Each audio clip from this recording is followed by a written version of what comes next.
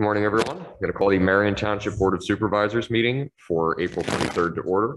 The time is now 9:03 a.m. The first order of business is the Pledge of Allegiance. Everyone, please rise. I pledge allegiance to the flag of the United States of America and to the republic for which it stands, one nation, under God, indivisible, with liberty and justice for all. Okay, for anyone who is interested, there are masks and hand sanitizer at the front of the room. Uh, anyone wishing to address the board can do so by coming up to the microphone. Please clearly state your name and address. And uh, I don't see the sign-in sheet out, so when you come up, we'll make sure you sign in. Uh, at this time, I'll open the floor to public comments. Um, we only have one member of the audience. Don, do you have any comments? Okay, fantastic. We'll move into the items for discussion then. Hold it. Yes, Fred Walters couldn't be here, but he'd like us to bring him in on a phone call at your convenience whenever you're in. okay. I mean, can you join the Zoom? Uh, I don't know. He's, I think he's in Harrisburg. at a Okay, meeting, that's so fine. Do you Are we want to, able do you want to to call him? he'll expect us Yeah, around Just 9:15. call him and put him on speakerphone. Yeah, go ahead, give him. a Or are we, well, okay, I mean, if he's expecting us at nine fifteen, we can just call him back in ten minutes. All right, let's do Okay. that. Okay. Okay, so the first item for discussion is the Marion Township Community Association Car Show. This is Saturday, May fourteenth, uh, two thousand twenty-two, from nine AM to three PM. Uh, there's a need for volunteer fire police, which I will work on getting secured. Uh, the next thing that we need to do as supervisors is to decide what roads are closed, the traffic pattern and parking. Board needs to make a motion on this, uh, to close all or a portion of Main Street. Um, what I am suggesting is we close, and let me actually pull up a map here, and I'll show it to the two of you. I'm taking notes. so Okay. It makes it a little bit easier to do the minutes. Dawn has a map too. Yes. Yeah, yeah, yeah, I I'd didn't, ask you to repeat stuff. oh, that's, but- that's fine, that's and I'll fine. Do my best to type it up. So- Let me actually pull it up on the big screen. here.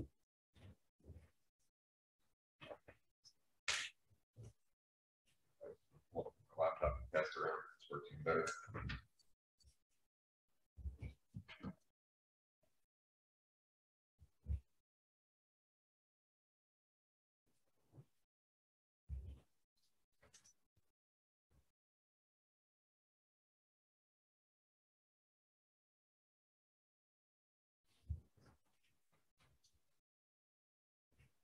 Where's that?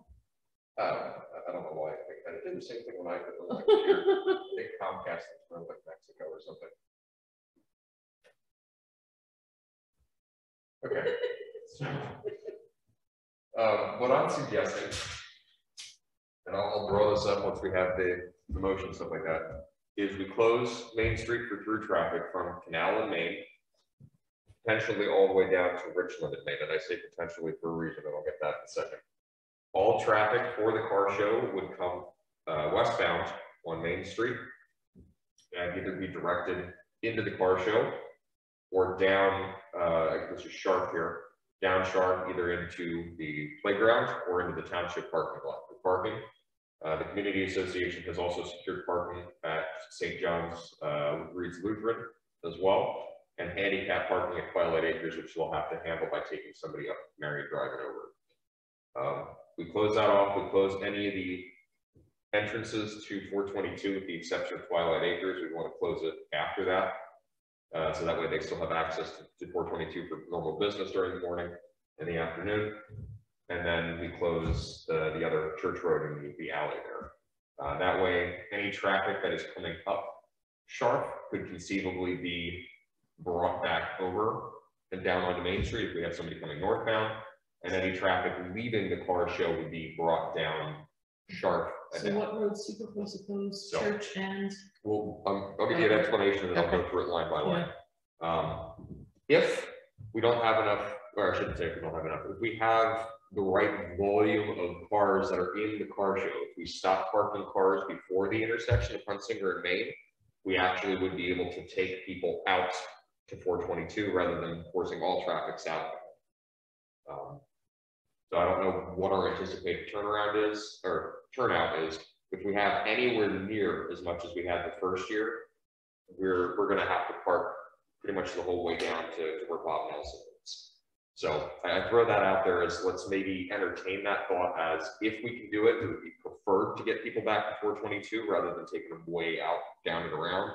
But if we can't, we just push all traffic southbound. So thoughts so far?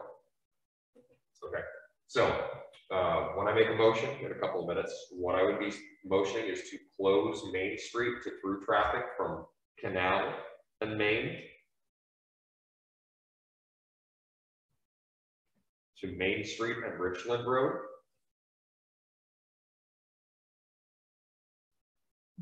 To close the, uh, entrance from four twenty-two, the, the westernmost entrance from four twenty-two, which is uh, like an un- unmarked alley road. Church Road.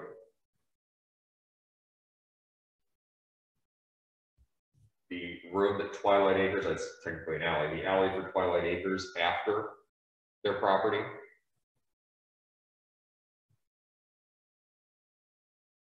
And Marion Drive.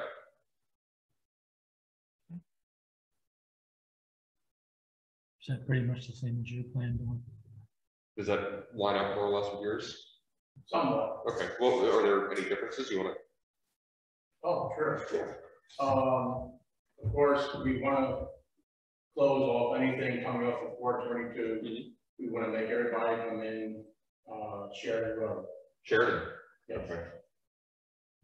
that's down. Oh, yeah, yeah, yeah, yeah, yeah, you wanna, yeah, talking about down here and then up Main Street. Yeah. Yeah, yeah, that's, you and, you and I are so far, we're lined up. And then coming off, coming in, uh, there at Marion Drive, we will have three lanes of traffic. We will have two lanes of show cars and one, uh, lane of coming in Sharp Road, Yep. that's. Yep. And then we would like to have, rather than going all the way out to the end of the alley. Yeah. there- That is a, from your, that alley, when it goes onto Main Street. Yeah. It's got a nasty dip in it. Okay, I didn't, I didn't to send cars down there and have a rule. is it, is it a, a dip that we'd be able to put like millings or something in a gravel It's, to? it's a gutter. It's a gutter? It's a Okay. gutter between Main Street and that. Okay, So I wanted to cut it off one way, one way out okay, at Church, Street- Church Road. so you wanna, you wanna have to have somebody doing flood Pretty, control on I, I'm pretty sure we're gonna have to because of how far down we go. Now, if it's a nice day, yes, we will have to go down, but if it's a rainy day and very few people do come, I'll cut it right off the Church Road. Okay, and park the one on down. But um, as I, as you have said, uh, in the, the one car show we had, we did go beyond Church Road. yeah, And, uh, we had cars coming in off of, uh, twenty-two, and we had people coming off of, uh, the step, the, uh, hi- highway there and trying to come in Main Street from that end. yeah, I'm gonna cut it, I'm gonna put the, cut the road off right there, at Richland Road. okay, because there's a lot of people coming in. That's to exactly run what I'm on saying. that Yeah. yeah, I don't understand if they can't come in Church Road. yeah. So Church Road would be a one-way. One way out. Out, okay, perfect. I was just about to suggest that if we're gonna do that, we have it one way so that you can go out, Right. but not in. And then we'll close Richland. down, down at Main by Richland, so people can still come in and go down Richland or come up with Richland and go back to four twenty-two. Okay, And we have permission to park along the grass strip between the, uh, the northern alleyway okay, So if you have some, uh, people from, um, the fire companies that are coming, I would like to have them out there because they have trucks with the red flashing lights Yep. and they know how to direct traffic. Yep. When there is, didn't want anybody parking on the northern end of the highway, highway and try yeah, running across the highway. yeah, I don't, I wouldn't want people parking and trying to cross the highway, that's just too much of a hazard, yeah, So I think with that parking from all the alleyway down to Twilight Acres and she, and we're going to probably put a vendor on the end of that one-way street, but not, I didn't want to take a whole lot of parking away from Twilight Acres. You, are you talking about this one here, or I believe, no, think it's, this one? right there at Twilight Okay. Acres, that's a one-way street. Yeah, yeah, I was saying we close, we barricade after Twilight Acres, so they can still get traffic in. But you could absolutely put vendors and stuff up there. I was, one of the things I was gonna suggest is if we were closing church entirely, is put some vendors on church. But If you're gonna use that as a thoroughfare, then you can't do that. Right. Okay, so I think we, I think we understand where it is, Yes. so let's, maybe you might have to amend that slightly. So Um, we didn't pass anything. We didn't pass anything, there was no motion, so this is just us discussing. Okay. So the original statement of Canal and Main, all the way down to Richland and Main, that still stands. Okay, All of the uh four twenty-two uh entrance closures still stands. Um, the only exception is Church Road is going to be uh one direction northbound traffic out. Okay. Okay. Okay, uh, that way, Yeah, We definitely wanna, well, we have the two signs down four twenty-two, and those are the ones that have, a- and what about Marion Drive? uh, Marion Drive is going to be, that, that will be closed. Closed. Closed at the end of Marion Drive, on Main Street will be the registration. Yeah. Okay, so I have that all written down. so I think, I think that's what we need in terms of Yeah. that, and then I'll go through the parking in just a second so that we outline where the parking is. Um, Did you want a motion on this today? y- oh, yeah, I mean, let's just get it done. Um, Can I, so, can I read it? yeah, absolutely, Okay. you can make the motion. So, uh, the motion proposal is to close Canal and Main to Main down to Richland, Richland Road, only allowing, uh, traffic exiting out. The entrance to four twenty-two, the westbound traffic down to the, including the alley. Church Road, one way out, only, uh, letting northbound traffic remain. Twilight Acres down the alley after the property line of Twilight Acres and Marion Drive to close. Correct. Okay. Second, Okay, I just have one question, I'm not sure. Uh, During the street sweeping, is Main Street closed from Richmond Road all the way up to how far do they clean? I think they usually do up to the triangle, usually the, the length of Main Street, They stop at the triangle? yeah, they usually stop at the don't triangle, go west of the triangle? no, not usually. Um, So So, Peter, Jim you second, seconded, so roll call, Peter, aye, Irene, aye, Jim, aye, okay, motion carried. Okay. Next thing is, we don't really have to motion about it, but it's the, uh, we'll motion about it anyway, just to be safe. The, Yeah, uh, the parking, okay, uh, yeah, we've got, we'll, we'll do this real quick and then we'll Sure. Solve. Uh, the parking situation, they, uh, they have requested parking at the township building lot, the playground, and they have secured permission from Zion St. John's Reed Lutheran Church for parking there, as well as some handicap parking at Twilight Acres Creamery. I'll make a motion to approve the use of the township parking lot and the playground slash ball field. Do you have a second? second, Okay, Jim seconded. Uh, roll call, Peter, aye, Irene, aye, Jim. aye, Okay, motion carried. big parking lot at building and, And, uh, and ball field. okay, Maybe use township for our horses? Yeah, I don't even know, I don't even think we need to make a motion for that, but yeah, you can, you can absolutely use the, the sawhorses.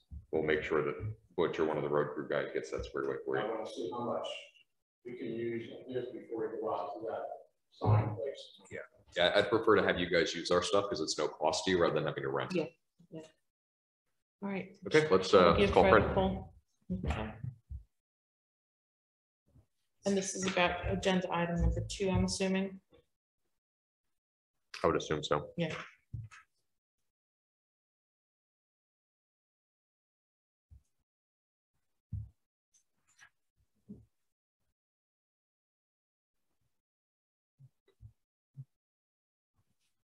I think I have him in my phone.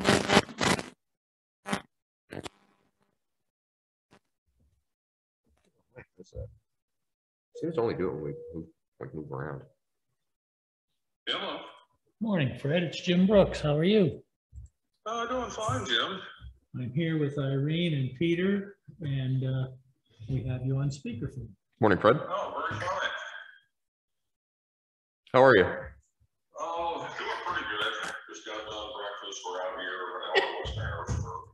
So a nice little B and B.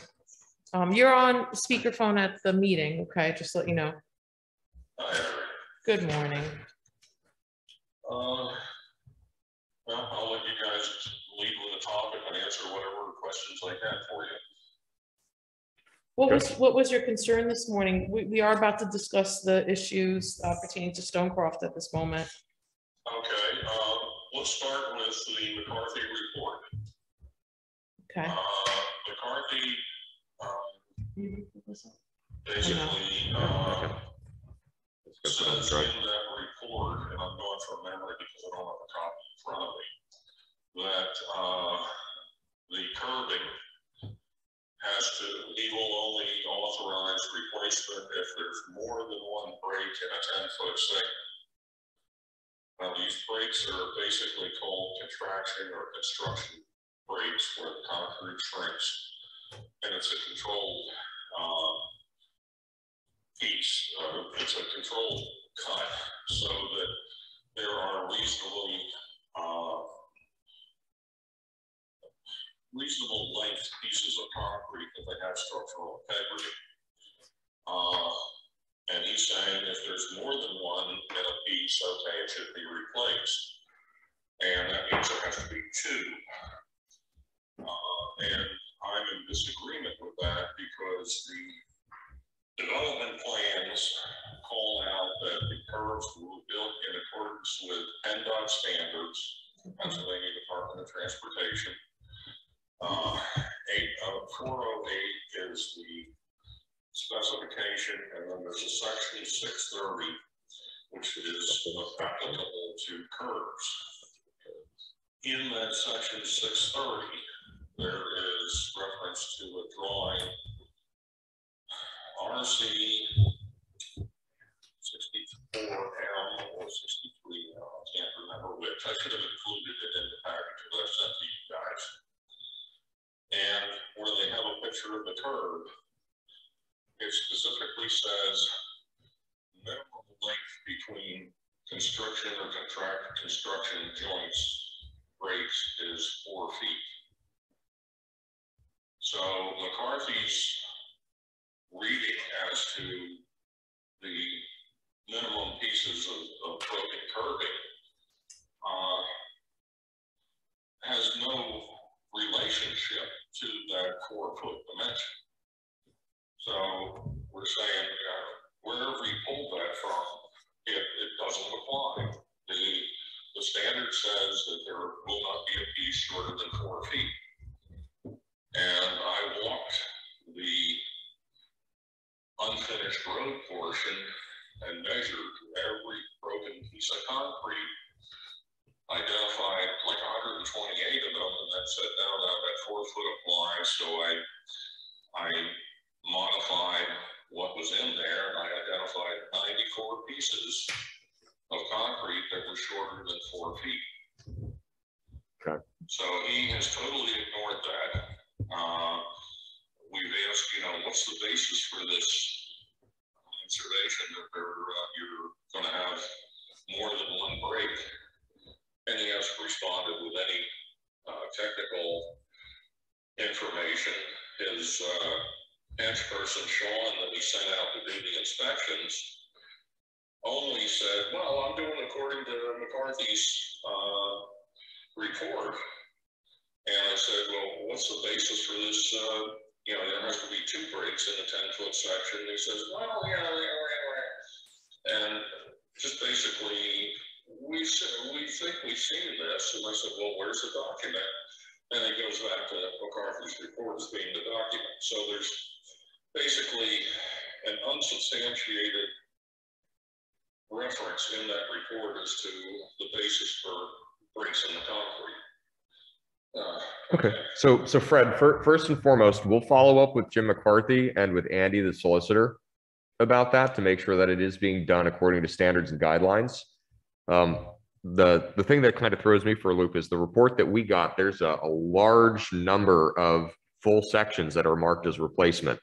Uh, like on Sweet Birch Lane alone, there's probably eight 10-foot sections and a 20-foot section that is marked as section replacement. Um, there's a bunch on Rosebush Court that are marked as section replacements rather than repairs, uh, which comes, the total length of curb being replaced is about four hundred and ninety-five linear feet. The saw cut and patch was only twelve spots. Well, first of all, there are no repairs that can be made to that stuff. You know, and that's why one of the complaints is that they're, at some place, they're squirting in the tops of the cracks, some sort of mastic sealant. Well, that provides no structural strength to make the, uh, the curbing structurally integral. It provides no strength, it's just a, it's bubble gum. It does nothing. So wherever they've come up with this, uh, idea of putting a sealant on top of a crack, it's pure bullshit. So Fred, let me just uh, rewind a little bit. What's, Okay. do you recall the section that you read with regards to the PennDOT recommendations? Yeah, the, uh, the, the section in particular, uh, I could wait up to my head, uh, is on the drawing. There's a drawing RC, I think it's sixty-four M, which I should have included in the package that I sent to you. That's okay. It's okay. In the middle of the drawing to the left. Is a picture of the curbing. And on the top of it, above that picture in the dimensional set is where it calls out the four foot minimum between constriction or construction breaks or cracks. So any piece of concrete that's less than four feet falls into that, falls below that minimum. And, uh, in particular, I can think of a neighbor's piece of drive or curbing where there's a, a saw cut contraction joint. And within a foot of that, there is a break in the concrete, which means that there's a inch piece there. Okay, And that has not been marked for replacement. okay. So we're going to have to contact both McCarthy and Kozloff Stout in regards to this to make sure that the appropriate guidelines are being followed and clarify to us. Again, um, McCarthy is responsible to reporting to us as well as any of his employees. So you, you can express your concerns, of course, uh, to them, but they're not going to address you. You're, thank you for taking the time out this morning. You've taken the right route and, and discussing it with us, and we're gonna address this. Yeah, and that's, that's fully what I understand. Yeah, And, yeah. uh, you know, I question them as to where they come up with these guidelines. Yeah. And I'm saying is, in this case, very specifically, the development plans call out that four foot minimum. And whatever they're throwing in there are, are different guidelines and I think are not applicable. So we're, we're gonna get, we're gonna get, um, clarification on that. Fred, correct me if I'm wrong, Fred, hasn't Landmark made it pretty clear that they're willing to do this right? And have actually even questioned McCarthy on, do you really want to go ten feet? You know, there's, um, they have expressed that, um, you know, expression is cheap, I guess is what I'll- Yes. I'll say. Yes, Um, we'll accept that. But, um, the other thing that came out associated with the curbing is, and I got this secondhand, maybe third hand, uh, so put a multiplier on it accordingly, but Landmark came out expecting to inspect the roads that have already been finished because there's curb and that stuff that supposedly has issues. And so Jim, in, in the, where your house is, that's finished road, but Landmark came out expecting that they would go through that curbing and identify any problem areas also. And McCarthy shot down on it saying that was not part of his scope of work. So that then falls to, uh, you supervisors to tell McCarthy, you know, the curbing in that area hasn't been inspected. It needs to be inspected. We have to check the plan. right. You know, you find something, you find it, you don't, you don't, but Or is it already, because of the contract, it's completed road and the bond is It's, already if the released? bond's been Yeah. released. Yeah, so, so the problem with that, if, if those roads were completed and the bond was released, then McCarthy has no responsibility with respect to those roads. So, because it's already been completed under the contract. Okay, so Yeah. what you're what you're saying is, like with the streetlights, the money was released when, when, Yeah. when inspections weren't done. Right, Potentially, yeah, we need, we need to validate that, Fred. If someone's Willing to, uh, to inspect and, and fix that, um, then I think we need to find some way to take advantage of that. Yeah, if Landmark is willing to do it, we can authorize McCarthy to do it, but we can't unilaterally enforce Right. something on Stone or uh, the Stone Group if they're not already willing to do it because of the, the, the nature of the bond and the whole plan. Right. And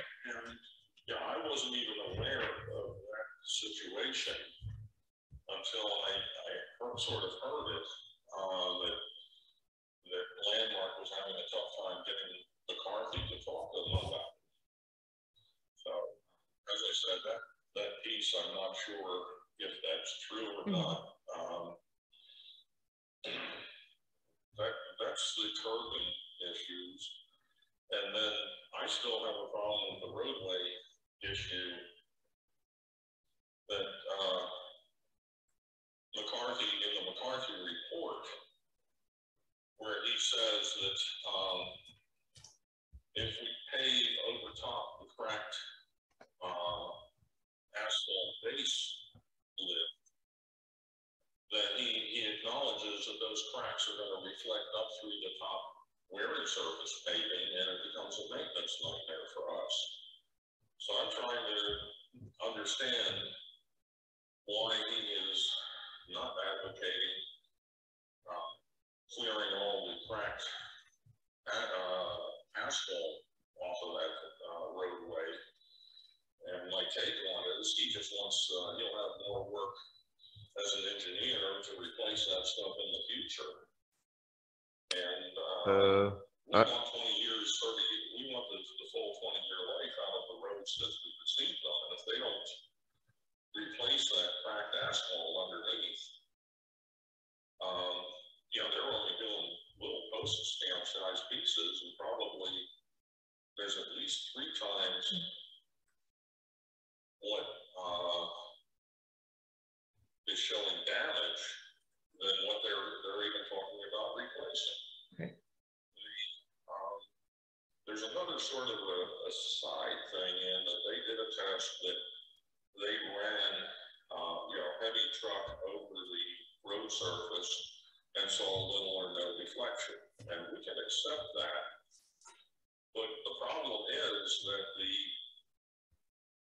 base course of asphalt has already been structurally damaged by whatever happened to it in the past, so there is no structural strength to the base course of asphalt that they're proposing to put a wearing course on top of. So, um, the, the test that was done tested the foundation below the base course and said, yeah, it's not moving anymore. But the base course has already seen the movement that's resulted in the, in the cracks in it. So, uh, those cracks will just propagate up through. And I understand from asphalt people, there are two things that could be done. One is you just mill out that base course because it's already cracked and it's lost its structural strength. And there is another fix that they can try putting something between that cracked base course and the, uh, the finished course. That's called the wearing course. Uh, but, uh, that's not as structurally good as replacing the, the cracked base course. And if we need to do another walk down, um, that was the other piece of it was that McCarthy had said we would be notified and involved with the walk down. And they never notified us. So I actually talked to McCarthy about that.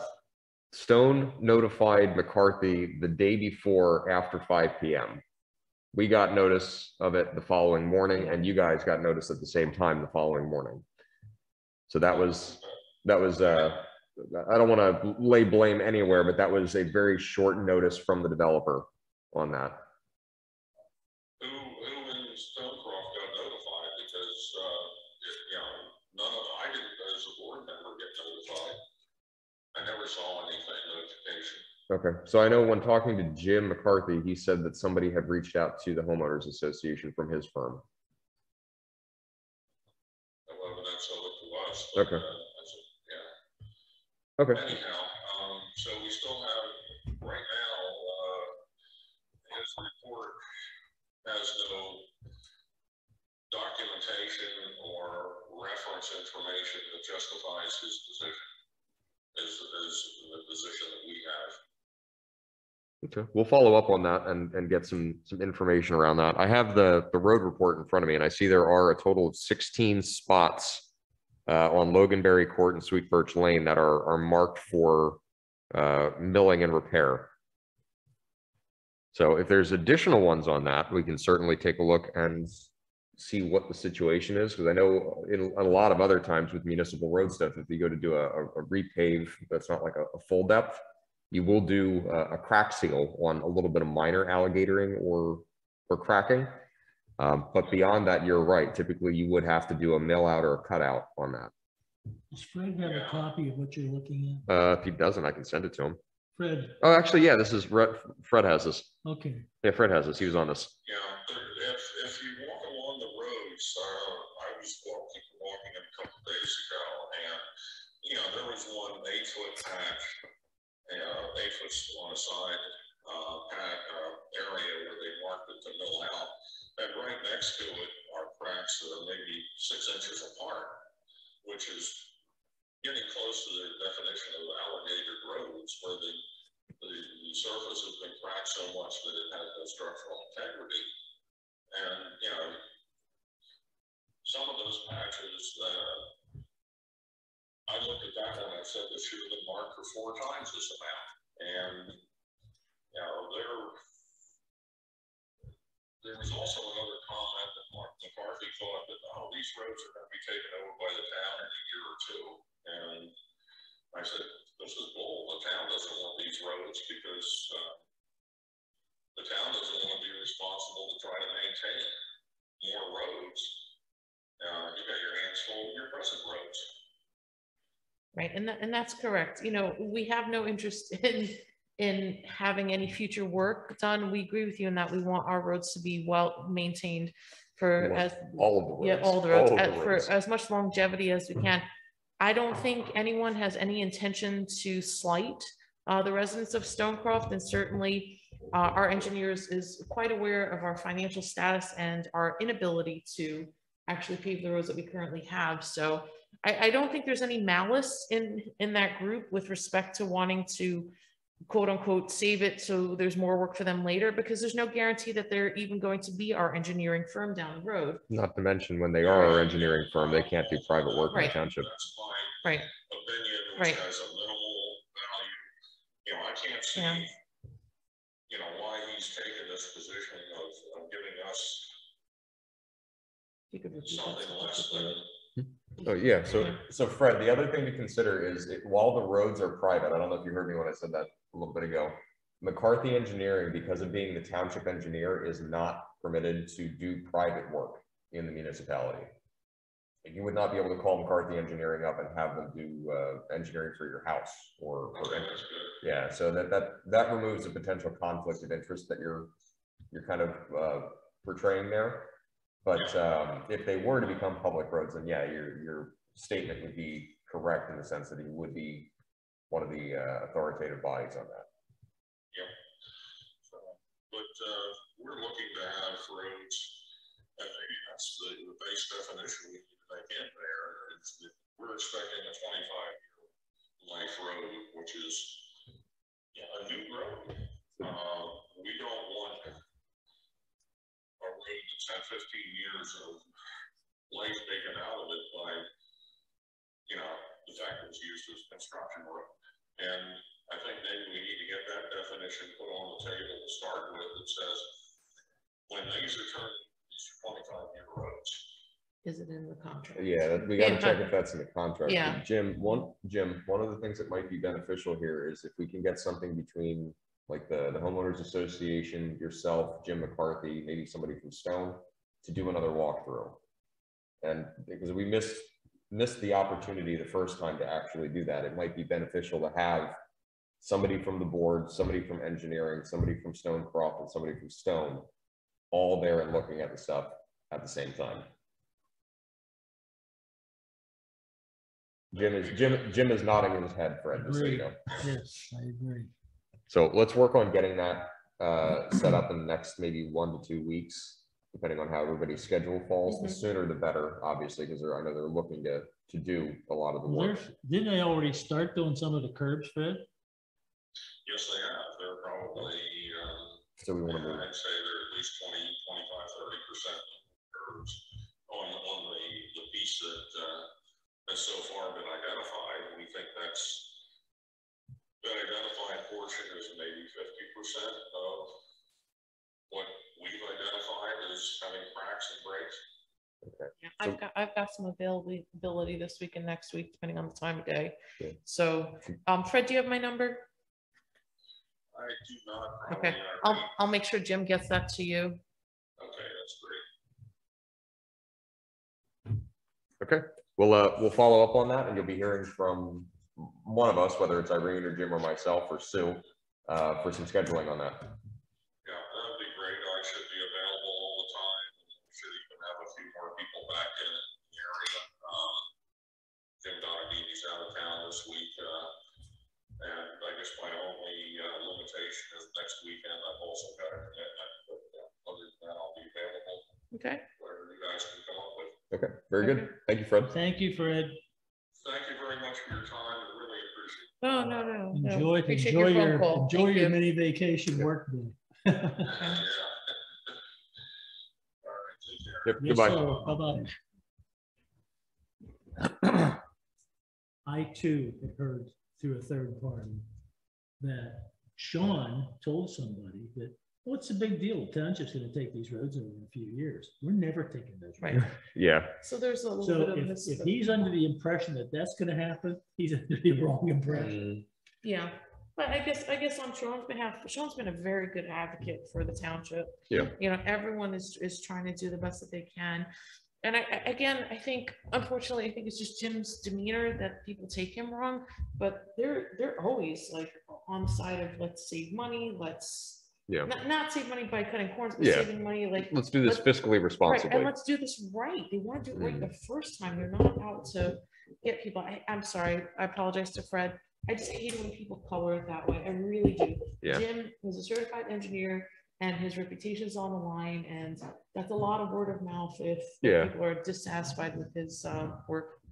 Have a good one, Don. See you, John. Um, So yeah, I we don't- just need to I talk don't wanna about see that. them File a complaint Yeah. against McCarthy either, because Right. that's, that's detrimental to his business. Yeah. Right, right, But I'm afraid if this is not done properly, right. that's where this is headed. well, I mean, all, Right. that, that being Yeah. withstanding, I'm afraid of having, uh, having this done wrong and then having chronic problems for the residents of Stonecroft. We Right. don't want to, I said this before, we don't want to do something for one of their roads that we wouldn't allow on one of Right. ours. And so we need to know what the PennDOT standards Cor- are. Correct, correct. We need to hold Especially them, when- If Landmark is willing, has a willingness to do this right, why don't you tell them, oh, no, don't, don't worry about that. But- well, but with that said though, with, do with it. that it's- it's said, Part of the if it's part of the contract, there's only so much that Right. we can enforce, but if Landmark is willing to go beyond that, there's nothing stopping them. Well, Right, yeah, that's what, Right. that's what I'm, I'm thinking, is why would, if, if I said to you, Right. hey, Peter, instead of me just replacing that piece, I'm gonna replace the whole thing. Right. You would say, Right, but you well, you're under no obligation to do that, but yeah, if you want to do that, that would be wonderful. yeah. but you have. But the to check- engineer said, oh, no, Well, it's yeah, not. yeah, yeah. Yeah. I But think- Somebody told them, no, it's not necessary. Yeah. Well, who cares if it's necessary or not, if I'm willing? So to do? Irene, from a Yeah. contract standpoint, that's us enforcing against Stone. If Right. Stone says, you know, we, we know these things are the things that are wrong, but you know, we see there's some questionable things elsewhere, we want to replace those too. Right. I mean, other than maybe having to put a permit in, that's, they're, they're not gonna get any opposition from us, they're not gonna get Right, any right. opposition from the homeowners. I think the answer should be. Yes, Thank you please, very thank you, much. yeah. Isn't Right. that, isn't that nice of you? Right, Yeah. so, so you just hope that they're savvy enough to put things in writing. Yeah. Because what can happen is if they perform the services and they say, oh, this wasn't part of the contract, but services now performed, now Yeah. you do have a court battle. Oh, yeah, yeah. Right, Yeah, and, and there's- that's, that would be, so, you know, written word is, is, is what we need for any contract of, of services performed, With- yeah. With that said, there's no consideration in past Right, consideration. right. So if they did it Right. unilaterally and there was nothing in writing and then tried to bill Right. for it, they can't really do that either.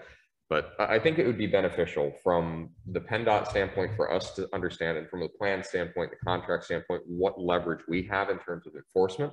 But then the meeting between you and the homeowners and McCarthy and, and Stone would be beneficial in the sense that you might be able to broker something that we can't necessarily enforce. But if Stone says, hey, we're willing to do this, and the homeowners say, yeah, that's fantastic, just kind of gently nudge them over to talk amongst yourselves. Yeah, We, we, Are we're out of this conversation. Right. But let me just say that that's really nice of you to do right. Yeah. right. Boy, we're gonna make you look good on Yelp next time. we get a Right. Exactly. Are you gonna reach out to Jim for all this clarification? Yeah, I might have to hit up your, your Sure, notes, sure, but I'm yeah, gonna I can, type it I can send him an email. What I'm gonna do is type all this stuff up, send it to Sue and send it to you guys. Okay. As the meeting minutes and let Sue, um, uh, comb through it afterwards and see if she wants to debulk it or something. Try to Okay. be As to the point as I can. Okay, but yeah, we'll follow up with that. I'll send, Okay. I'll, once I have the notes, I'll send a- an email out to Okay. McCarthy and then part, part of that will be the summary of, we want to cite the PennDOT Yeah, regulations. We want to cite in the, the plans and if anything in the contract potentially. I'll put Andy on it too. yeah, Um, of the, the actual requirements for the curb repair and for the street repair. okay. Uh, and then setting, setting up a meeting as soon as possible between all Yeah. the parties. Okay, next item on the agenda is to amend the budget. This is to add the engineering services uh, code of accounts four oh eight to the chart of accounts. Um, I'll make a motion to add the engineering services four oh eight to the chart of accounts. Roll call, Peter, Aye, me, Aye. Jim. Aye. Okay, motion carried. Okay, next is the Main Street Traffic Study. Uh, this was performed for stop signs at Church and Main, Water and Main, and Sharf and Main. Uh, we received a report and the engineer and the attorney are still reviewing it. There, there was some, some questions that they had around that. So hopefully we'll have some, some update on that on Thursday night, but, uh, based on a little sidebar that I had with Andy, he, he said that they want to look at it and, and make sure that there's not anything that can be done. can we put in a, a pedestrian crosswalk if that's the case? You can put in, we can put a crosswalk So- in right so now. Mm-hmm. Irregardless, we could have slow pedestrian crossing.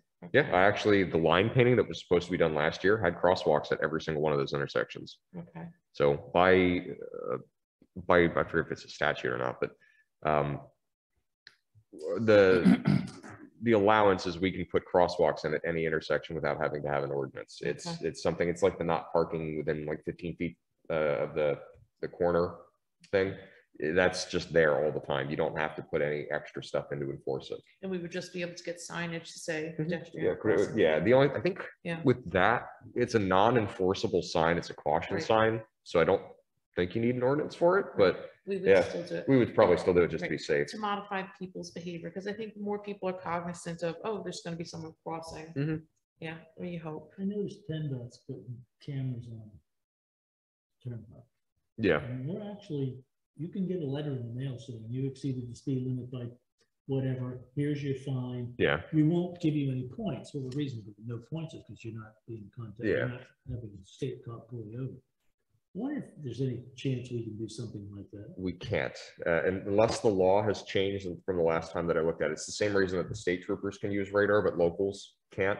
There are certain things that are allowed on certain types of roadways, like the turnpike, that are not allowed on, on local roads, like the, the red light camera enforcement It's too speed. bad. Yeah. So Okay, thank you. Yep. Okay, so more to come on that. Uh, the culvert on Reichert Road, we did receive several quotes for the box culvert. Uh, Unfortunately, none of them participate with CoStar, so we will need to put this out for bid. Uh, so I will make a motion to put the, uh, box culvert for the culvert on Reichert Road out to bid. Second, Okay, roll call. Peter? Myself, I, Irene, Aye. Jim, aye. motion carried. I'll, uh, email, excuse me, I'll email, uh, Jim McCarthy about putting that out on PennBid right away. Okay, next is the overall road projects for twenty twenty-two, including culverts. Uh, I'm making a list of the culverts that need to be replaced, the, uh, roads that we want to potentially oil and chip, crack seal, and cold patch. Um, we are still waiting for the permits on the Marion Drive North and the School Road by Oscar Manbeck, uh, as well as the culvert on Sheridan, uh, Sheridan Road by Gerald Hoover. The culvert on Marion Drive at Jake Weiss was submitted to the DGLVR grant program. I spoke to Jim McCarthy. Uh, BCCD wants to fund fifty percent of this, uh, which would be a, a total cost for us of about ninety thousand for the project. It is a slight increase over having our road crew do it, but it would be a lot more direct to have the outside company just do it. So um, I'm, I'm of the mind to accept the, the generous grant contribution from BCCD and to move forward with that project. So I'll, I'll make a motion to accept BCCD's funding offer for the culvert uh, on Marion Drive for the DGLVR program. Second, Okay. Roll call. Aye. Irene, Aye. Jim. aye. Okay, motion carried. So, fund fifty percent of the Marion Drive, uh, culvert. Okay, um, just, uh, I guess a little bit of an aside to the roads, we need to all take a trip around town and, and drive. Uh, Sue and I were just, um, looking around. If you both have the opportunity, I want to say we typed in Pennsylvania Department of Transportation Rural Roads. Mhm. There are grants. Oh, okay, Um. There are grants, there's also funding. I think it's time that we took a look at some of the seriously bad roads. If we need to apply for funding, more ideally for grants. Okay, Because I, I- think everyone in town has had enough. I hate going down Sheridan, it's like getting a, a a back massage that I didn't want. Yep. Um, and as far as I know, you had a concern with the thinning of the trees. Uh, the trees, a thinning of the trees is an option Yeah. to allow more light, and that's something that could be coordinated and done. In fact, I want to say there was something on the PSATS, uh, website um, about how to, uh, there was a, a program about how to get that done. So I just took it very briefly. Okay. So, yeah, my concern with Yeah. Sheridan, because I know it's bad, but Yeah. with the, the tree cover and the Right. slope of the road, the way it is, right, is, it's wrong. it, it- yeah, It's it, wrong. it's, And so we know that's a full depth reclamation. Mhm. So we would want someone to come out and. It has to be removed and Right, it has to be regraded. removed, it Has to be done. So it's, it's, it's, it's not a very long strip, but it's a very intensive strip. Mhm. And so we know that there's gonna have to be work that needs to be done, but we need to start looking at these grants. So. yeah, absolutely, yeah. absolutely. Yeah, if you have ones that you found, let's, let's, Yeah, the three of us look I'm at them. sure You're getting the same complaints I get, but people are a little frustrated with our. roads. Oh, I, I, I Right. get it. I get it. I was really do. talking to a- a Group one day, we were talking about beautifying the neighborhood, by putting flowers and all this, and I said, it'd be nice if we do the- something down through Main Street. And a group of twenty-five women said, fix the roads. right, right, right. And I said, Yeah. "Uh, okay, Yep, right. we'll take it. yep. right, there's, there's a lot that needs to get done. Money is always, is the sticking point, but if we, again, we, we have the, we kind of know what's always going to come in to a certain extent. Yeah. And I hate to say it, we have to rely on taxes rather than liquid fuels, because we did see a drop in liquid fuels.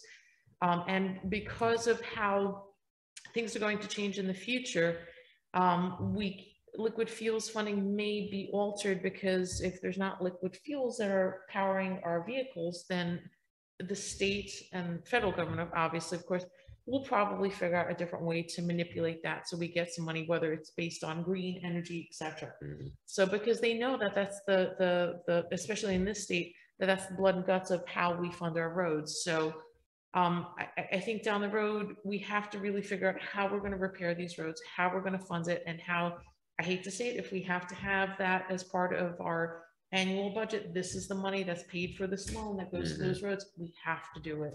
Yeah. It's, it- so much has been neglected for so long and we have been handed this, this just Monumental. awful, Yeah. awful, awful type of a, uh job here. It's just, it's very frustrating when I see the amount of, of stuff that has just been left to, to wither away and die and, Yeah.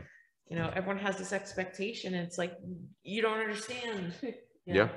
No, I, I completely understand and I agree. Yeah. I'm, if I could fix all the roads, and I think I've said this at several meetings before, if I could fix all the roads, Right. we just, uh, would. we would, we absolutely would. But like just the, the four culverts that we have that are affecting, one of the roads is That's our down to one lane. Yeah, One of the, one of them is just completely outright closed. yeah, Um, that's pretty much the entirety of that fund is to take care of those. Yeah. Road work is extremely expensive. right, right. Um, And so it's looking for grants, it's looking for this money.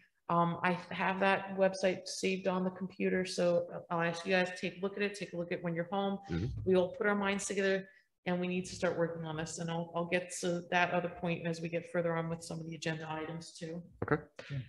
So next is the Berks County Cooperative Purchasing Council line painting. Uh, we have received the price sheet and the request form for this year, so I will make sure that we have everything that they skipped out on last year on the list. Uh, and then be looking at doing probably about uh, a quarter of the township, depending on what that, the price looks like. If it's within the budget, I'll, I'll push it up to a half. But uh, we want to start getting into the habit of just routinely repainting lines uh, every couple of years or so. Okay, next item on the agenda is the hiring of office staff. Uh, we're looking for a part-time assistant secretary. We would need to create the position, set the wage, the number of hours, write the job description, and then advertise it. At last month's meeting, a motion was made to move the treasurer's desk into the AA room and move the filing cabinets into the office. We'll have to work on that in the next couple of weeks. Yeah, Um, that's, that's not so much of a problem. And I guess that's part of the point that I was saying earlier. If we have that, that second person, that's the assistant secretary, Sue Sue will delegate what tasks she wants done. Mhm. That person can also be our, our point person on saying, we need this looked into. Can you please find out as much information as you possibly Yep. can? We need you to make these phone calls. And that person will be invaluable. Sue and I haven't come together, uh, this week because of circumstances as far as, uh, uh, putting together our, uh, job role. Mhm. Um, I'm just gonna throw it out there. My oldest son is, uh, in college. If we can't hire someone outright as far as the interview process, he's willing to take on the job for the summer as a, as a, basically, he's, he's actually looking for an internship Mhm. because his, uh, degree is, uh, governmental studies also. So I'm just gonna throw it out there. He would be a candidate unless and until we would hire someone, you know, for Yeah. that part-time position for routine. So I'm just throwing it out there, not trying to. Yeah. to No, swing I him. mean- Yeah, and if Sue doesn't like him, I said, Mm. I said, Sue, you fire him, you know, you tell me, I'll tell him he's fired. But, Okay. uh, but until and unless we could find someone and we have an actual job description, we need to set pay rate. Mhm. And so that's another sticking point too, So So- my, my suggestion on pay rate, because Yeah. Sue's at, um, twenty-two. twenty-two, thank you. Um, would be seventeen an hour for the Oh part-time my person. God, that's a lot. Um, well, I mean, you figure Yeah. you can go and work at a McDonald's now for like fifteen. Yeah, that's true. So, uh, probably sixteen to twenty hours a week. We have to decide on, on that. Uh, the d- job description, uh, Andy said he was gonna send one over Yeah. from Wolfsburg. I've not seen that yet, but rather than us try to write a full job description, let's see what we can reuse. And then advertising would be, once we have all Yeah. that determined, we can actually advertise. And I'm just gonna u- use my, um, younger son as free labor to move things. Free labor, free labor is the best kind of move labor. Things and helps Sue get organized, because once we get the desk and, um, the file cabinet, a file cabinet from the, the, the file room over into there, and we get me up and running in there, that allows Sue to utilize that space a lot better. Again, she just needs the assistance with getting someone to help her to file because it's just become so mm. monumental. There's so much information that comes in. I was down here myself this week. I think I put ten hours in just doing some of the stuff that I have, and I'm like, there's this short pile, I'm like, oh, I need Sue's help. Yeah, So, so there's quite a bit of, um, yeah, we need, stuff to do. we have too much work and not enough Yeah. hands to do it, so, Yeah. yeah. So we're agree. gonna hold on any motion in regarding Yep. this. Okay, so Yep. that's already. Um, number nine, office equipment. Yes. Okay, if I could take the lead on this one. Absolutely. So going back to if I'm moving, I, I, uh, need another, obviously, she's gonna need a computer in there for whoever's going to be assisting her. Mhm. And I would need the computer. I love the two screens. I can't, I can't function without the So, two screens. I've actually, I, I did a little, little looking. What I would suggest is we take this computer, which is a twin for one of the office ones. Okay. That becomes your computer. I'll make one Okay, that goes in the rack on the other side of the wall, because I did get the rack hung. okay, And then that is just the computer for these screens and, Okay. and everything else. okay. Um, in terms of monitors, I found, I actually have one almost identical to Oh, this at home. perfect. It's a good screen and it's, right now it's fifty percent off because it's old stock. Wow. So it's hundred and twenty-five dollars Wow. instead of two hundred and thirty. Wow, So I would suggest that we snap two of those up. okay. Um, Printer, printer, uh, that's, that's a little more complicated. So Yeah. are you looking to do black and white only, color? Do you need to scan from it?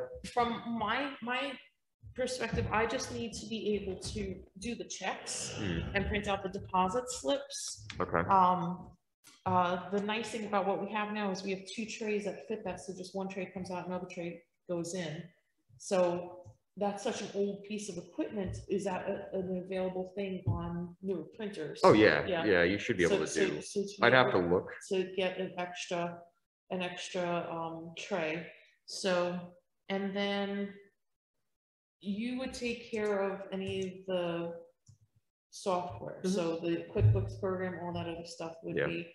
I, I was thinking about, we don't need QuickBooks online, I don't need it to be a mobile thing, so having something with the two trays, one that I could use for the checks and stuff. Um, because then Then the other thing I was thinking about for, for tasks like just having the ordinances scanned in and just stuff that needs to be kind of routinely scanned in, so again, that you're not necessarily bothering Sue. Hmm. I don't think we need another scanner at this point. Okay. There's, there's, there's a few things that I need scanned in kind of here and there. But again, if there's another person that's, that's working with Sue and, and I say, can you please scan in these documents for me? If there, if it's not a, a, a feature on the printer, I, Yeah. I, I truly need a printer. As far as copying materials, I, Jim, thank you, that copier is perfect, so. That it's, it's, it's wonderful, sorry, I didn't to kick you there. So, Yeah, I'll, I'll look around and find, uh, it, it's based on the fact that you're gonna be printing out monochromes, like Yeah. black and white. Yeah. Uh, a laser jet is gonna be the better, better fit for that. whatever it is with Um, respect to ink and all Well, that stuff. the nice thing is the laser jet is a drum, just like the, the other one. Okay. And you're, I, I know people that have had printers like this, that they've not had to replace a drum for like ten years. Okay, So in, in terms of just uh, efficient printing on small scale, that's, that's your best bet. okay, we, Um, I'm hundred percent relying on your expertise when it comes to these items because even home usage, I am quite minimal here. It, it's heavy, so I need to Yeah. need your expertise on these. I'll find, Okay, I'll find a good one. This one was one that is just, it's a plain old just color printer. If we needed Okay. something cheap, it's like ninety-three dollars and it's a scanner and a printer, but you're Okay. gonna, you're gonna spend more on the ink than you no, no. I just need black and white. So with respect to the screens, Yeah. so that is, um, is it the scepter curve screen? Yep. The tw- two would be two 24 inch screens. Oh. And so the purchase price is, Uh, be hundred and twenty-four ninety-eight plus tax, free shipping, obviously. Let me, I'll just throw it in the cart, see what it actually comes down to.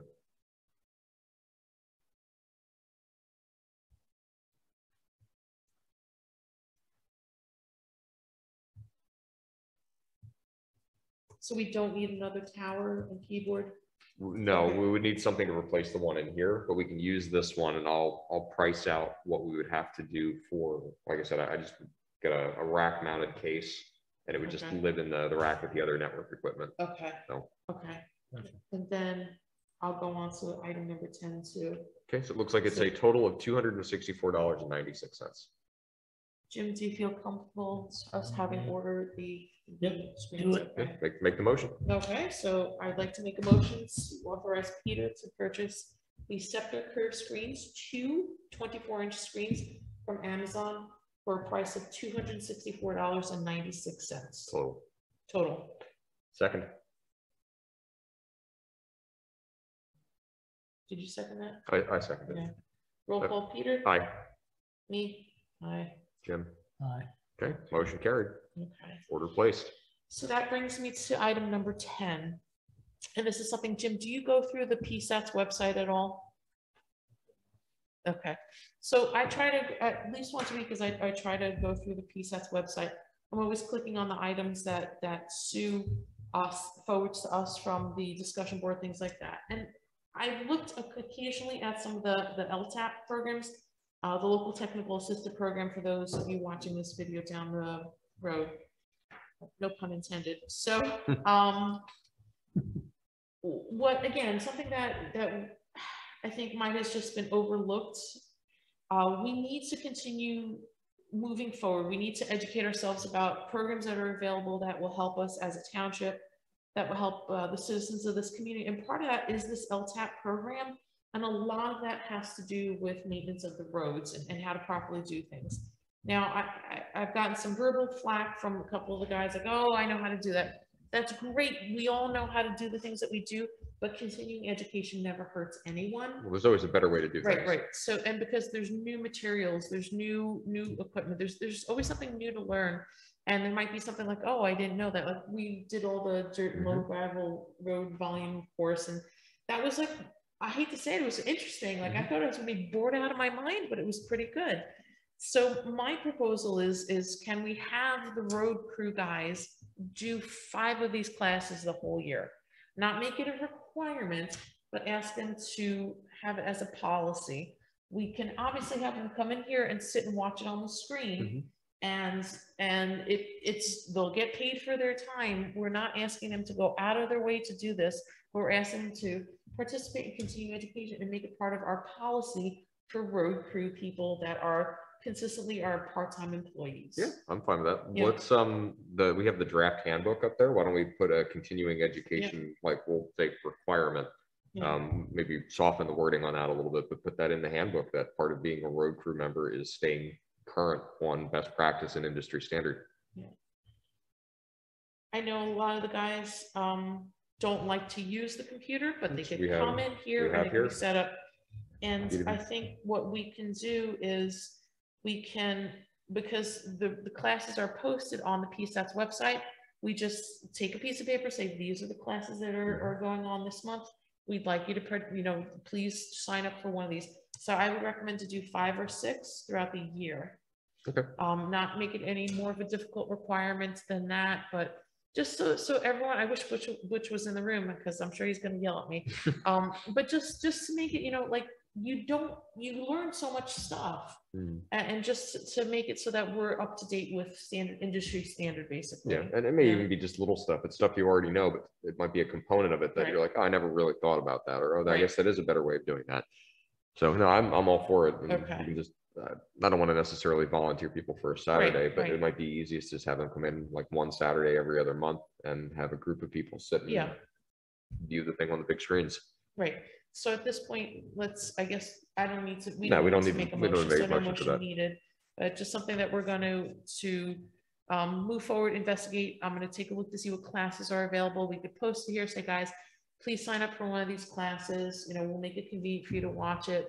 You, you get paid for your time, whether, because there's some days like it's raining, it's pouring out, you Mhm. know, and there's some people are Yeah. looking for things to do, but our guys that are, are usually here and, and doing work, it's like, please just, and this way, there's no arguments when, when someone's out going and doing a job, they're like, well, this is, no, this is the way, we-" no, this is what the industry standard is, Yes. so. You can put it on the big screen. That's what I'm Yeah, saying. We right, just have people right. sit in here makes and do like a easier. seminar. Right, right, and, and, Yeah. and, and Sue That'd or myself nice. or whoever's here at the building can say, hey, you know, playing this video for you, this is what we want. I don't think they're terribly long programs, Mhm.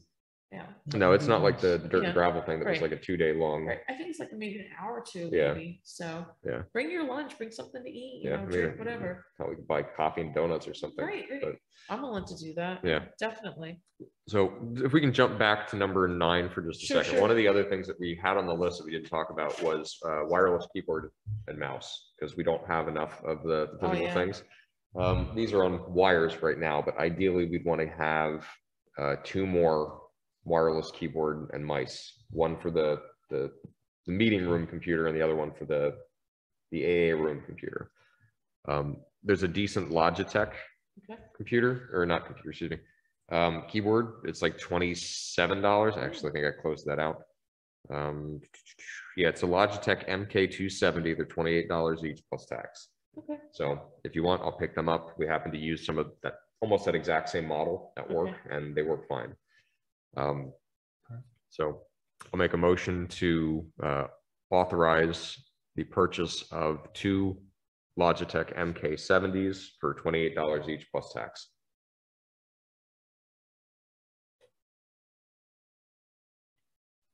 second, Roll call, aye, aye. Irene, uh, I, Jim, Aye. okay, motion carried. Okay. Okay, uh, anything else on the, the LTAP stuff, Irene?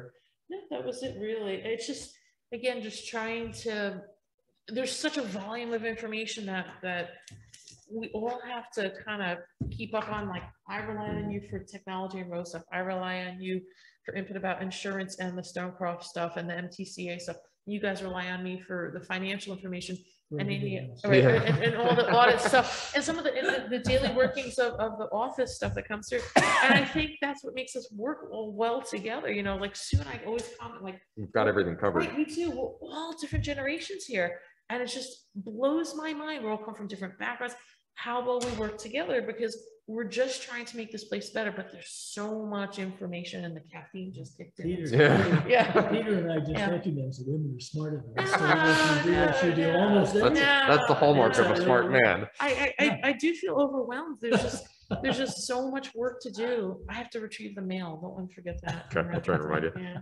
Okay, so we have two more items on the agenda. The first Sure. one is Act five thirty-seven. Uh, the SEO has started doing inspections in the Northwest District. Uh, Tim Wagner's response, just to reiterate, has basically uh, indicated that everybody has to have a septic inspection. There are no exceptions. No one can be excluded. Uh, The next step is the income study. Uh, I've been basically playing email tag with Colleen Terry from Econ Partners back and forth. She's going to get me connected up with a specialist, somebody who specializes in this particular type of thing that we need, named Joe. Who? Uh, Joe Baldes, uh, B A L, uh, B O L, excuse me, D A Z. I'm hoping to get connected with him this upcoming week. And he would be the one that we would be working with on the income study and the analysis of financial viability for the results of the income study. So hopefully some more news on that, maybe in advance of Thursday night, but uh, it is kind of quietly churning in the background. Last item on the agenda, also sort of related to the Act five thirty-seven, is the holding tank ordinance and agreements. Um, I don't know if I missed it, but I didn't, I didn't see that come through on the email and I didn't see it on the Google Drive. Did you guys get those? Uh, I think so. Yes, they were older emails Okay, from, um, Alan. And so I'm gonna say maybe it was, I'll, I'll look up Yeah, emails from Alan. If, yeah. if you think it came from Yeah, Alan, I'll look back on Alan. But when I was briefing myself on the agenda, I was like, man, I don't remember actually, I remember seeing things of us talking about it, but I don't actually ever remember seeing the, well, the whole thing. Yeah, so I mean, if we find it, let's just put it up on the Google Drive in the SEO folder and then, and then look at it, whether it's me or you or Sue or whoever, let's, let's get that out there. Other than that, that's the last item on the agenda. Um, I don't have any comments. Irene, do you have any comments? I have lots of comments. Uh, um, no, oh, here, I have it. Oh, want me to cool. forward Yeah, it to forward it to me, Jim, right? March Just 20th, bring, bring it right up to the top of the mailbox, please. So, include attachments, I'll just do that.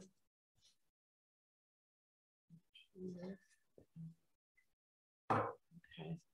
Um, I, I guess for right now, no, it's just, just housekeeping stuff I need you guys for. Okay. Um, other than that, um, again, it's, it's, it's just stressing the, the need for another person in this office and, you know, Jim, do you have any comments? Uh, no, I'm good. Okay. I'll make a motion to adjourn. Time is now ten ten AM. second, Roll call, Peter, aye, Irene, aye. Jim. Aye. Okay, motion carried. Thank you, everyone. Have a Thank good rest of the weekend. See you Thursday. Have we, uh, have we